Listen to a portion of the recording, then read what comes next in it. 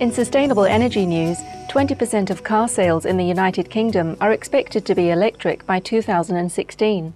The prediction was made by Mr. Steve Holliday, Chief Executive Officer of National Grid, one of the world's largest investor owned energy companies. Mr. Holliday added that he believes 1 million electric vehicles will be in use in the country by 2020. To help reduce carbon emissions, the United Kingdom government is offering a subsidy of approximately 7,800 US dollars for each motorist that purchases an electric or plug-in hybrid car.